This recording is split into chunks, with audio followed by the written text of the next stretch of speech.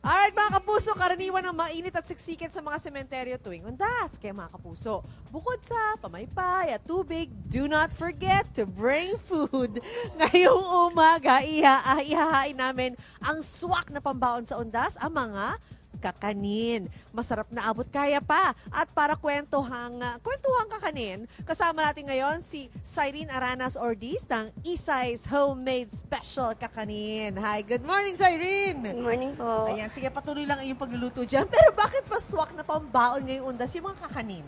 Why? Ang para po sa akin, unang-una po, um, yung price niya po. Okay. Sobrang affordable po. Aha. Tapos po, sobrang nakakabusog po talaga siya. Oo naman. Tapos po, ang, sa mga buyer ko po, according po sa kanila, ano po talaga sa kanila, tradi- tradisyon po yung, yung Magdala malagkit ng dahil po, kakanin, yung oo. sa family, dahil sabi po nila sama-sama, Oo. dikit-dikit. Parang yun po talaga yung impact.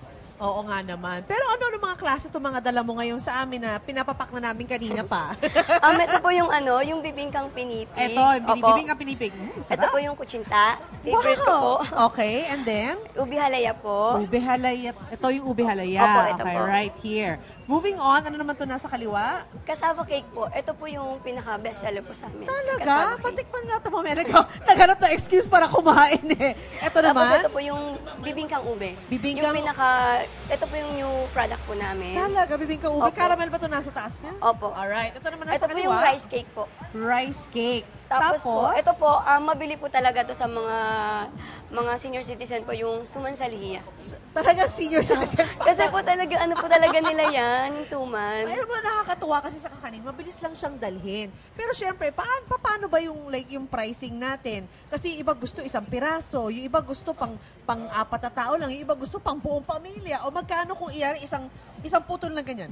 8 pesos lang po. 8 pesos. Ngayon, pag kunyari, pang medyo maramihan ng konti. Pag halimbawa po sa per box po namin, 100 pesos lang po. 12 pieces po yun. Ah, okay. Tapos po yung isa, yung big box po namin, is 16 pieces po. Um, 130 pesos lang po yun. Ah, so, abot kaya. Abot kaya po talaga, ma'am. Wala kayo isang buong bilao, ganun? Um, sa bilao po namin, ang 40 pieces po yun, um, 300 pesos lang po. oh, yan, 300 pesos pang isang barangay na yung halos. Ah. Pa- Paano ba niluluto nga pala ito? Um, ito po yung sa, ito po yung sa Biko. Okay. So, kailangan po muna sa Biko namin, hinugasan po talaga namin yung malagkit po. Oh, kailangan talaga malinis. Po. Okay, and Opo, mali- Tapos po, after po na ito na po siya, isasalin na po natin siya dito. Kasi ito po, Ah. pina- pinakuluan po ng yung sagata at saka yung sugar niya po. Gata at sugar. Opo, okay. ito. Tapos pag okay na po siya, Okay na kumukulo na, yan. po ito, pwede na po natin to isalin. O yan, at habang sinasalin mo yan, itong sa kabila, sinasalin na sa tiyan nila. Kasi kanina pa sila kumakain. Oo. Same lang kami. Actually, nauna ako sa kanila kumain. Kinain ko yung suman. Tapos nilagay ko yung latik na ginagawa ni, ni Siren kanina pa.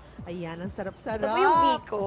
Ayan yung biko. Okay, there you go. So yan lang, ha, haluin mo lang. And then Opo, haluin lang pagkatapos, po. Pagkatapos po, haluin nyo lang po siya. And then po, hang, pag kumunat na po, yung Okay. kunat na po talaga siya, isasalin na po namin yun sa lagay niya, yung tray. that's it. Opo. Ganun lang siya kabilis. Ganun lang po. Ah, okay. Ano ang mga tips mo para sa mas masarap na paggawa ng kakanin? Ah, para po sa akin, galing po sa puso yung pagluluto. Wow! It comes from the heart. Kasi Yan, the po, heart. kung halimbawa ma- nagluluto ka lang nang wala sa puso po, Oo.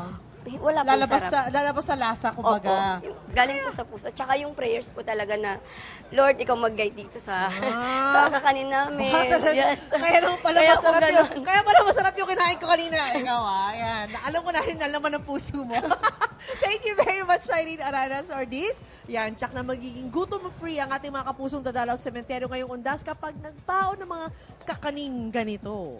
Reserve na yan para sa akin.